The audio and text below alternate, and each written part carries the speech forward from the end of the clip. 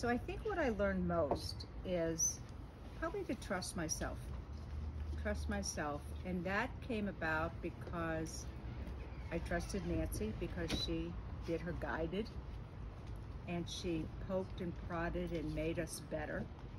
And then also a beautiful thing is I trusted all my fellow members of my group mm-hmm. so much that I think the five of us stayed with the group. We had three sessions, All five of you stayed with us? Yeah. five Just- sessions. So that means we were together 24 Mondays um, a year, and we really grew to know each other, trust each other, love each other, and support each other. And so that's why we're here at the reunion.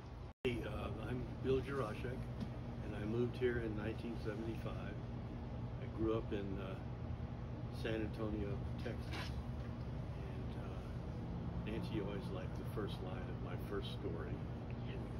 I was born uh, 19, August 16th, 1940, on the left bank of the San Antonio River.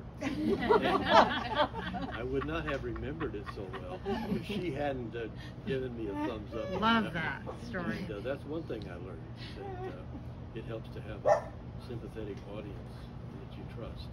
And through Nancy and her guidance and these wonderful women and them listening to me write about the same thing a lot, I, I got the power back that I needed and self-confidence. And they just, I found myself again. And I fell in love with them and I fell back in love with myself again. And